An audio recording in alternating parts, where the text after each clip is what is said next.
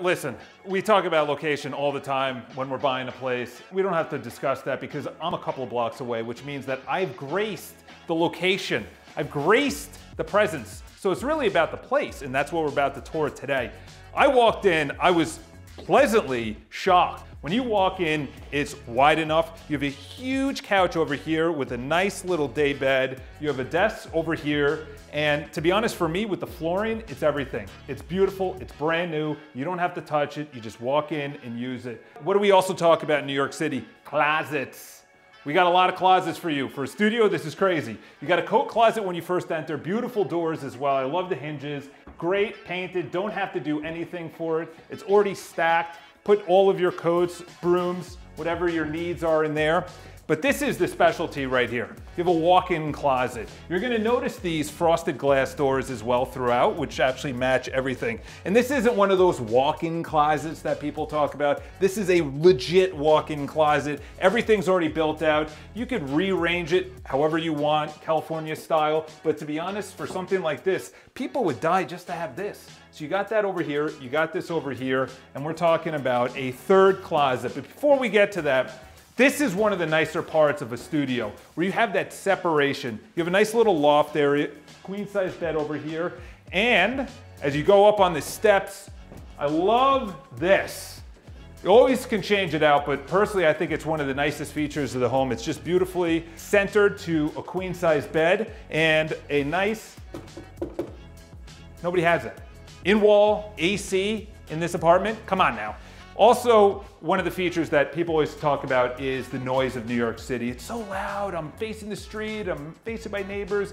This is facing the back. So though you have the greatest location of all time, which is right near West Chelsea, meatpacking, subway, everything you need, you're facing the back, you don't hear anything. It's pin drop quiet. Third closet is over here. What are we talking about? Another built-in, again, frosted doors, sliding. This is a theme throughout, the sliding doors. You could change it out, but personally, I'm leaving everything, to be honest. Again, the flooring is exactly what you want, which is uniform throughout the entire home. So what do we want in a kitchen? We want a kitchen that's completely separate, especially in a studio. So you have this completely ready to go for renovation, whatever you want. You have all the fixtures, you have all the plumbing, you have everything you want, and guess what? A window as well, full-size window. Within a studio, at this price, with a doorman building in this area, it's crazy. Just bring in your contractor, do whatever you want. You have track lighting up here. You can leave it as is, it doesn't matter. But personally, for me, to have it separate, especially for those cooks out there, keep the smell in here, you entertain out here. This, what are we doing?